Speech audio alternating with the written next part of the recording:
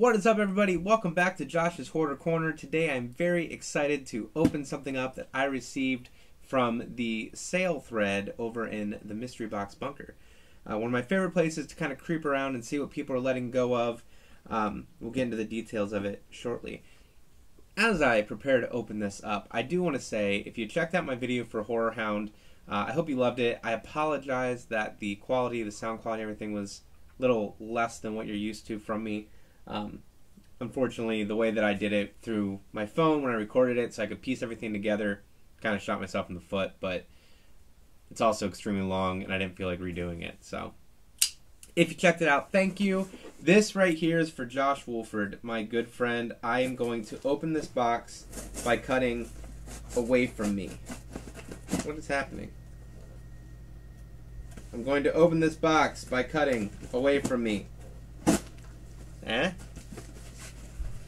He's always giving me a hard time and waiting for the day that I cut my finger off. So, I did it the correct way. Yes. So, what do we have today? I'm very excited.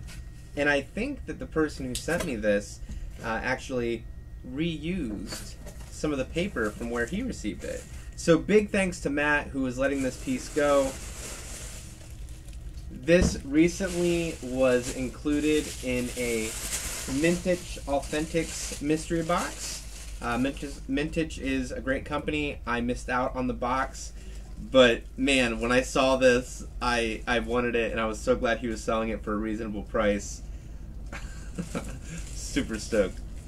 So, to quote his entrance into the movie, "Well, hello there. You must be the lady of the house."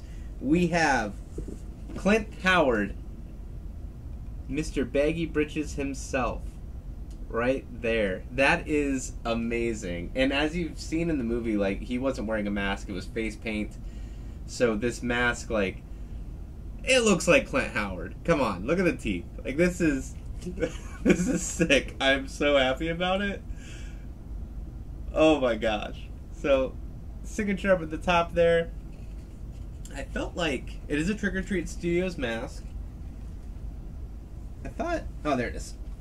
Beckett card. I, knew I dropped it, but it'll have the Beckett sticker here in the back. I, I love it. It's so awesome. So Mr. Baggy Britches um, was very, very quick on-off roll uh, in Three from Hell, um, but he was supposed to make Otis laugh so he could escape from Doom. And though he does make Otis laugh, Otis is not someone that you can trust. I'm sure you've seen Three from Hell. Cannot figure out. I don't. I gotta figure out where I'm gonna put him behind me, but I I love this. I'm so excited. So again, thank you so much to Matt for letting this go, and again, and uh, even more so, letting it go at a reasonable price. Um, this is going to be a great piece to, to fill in the background here.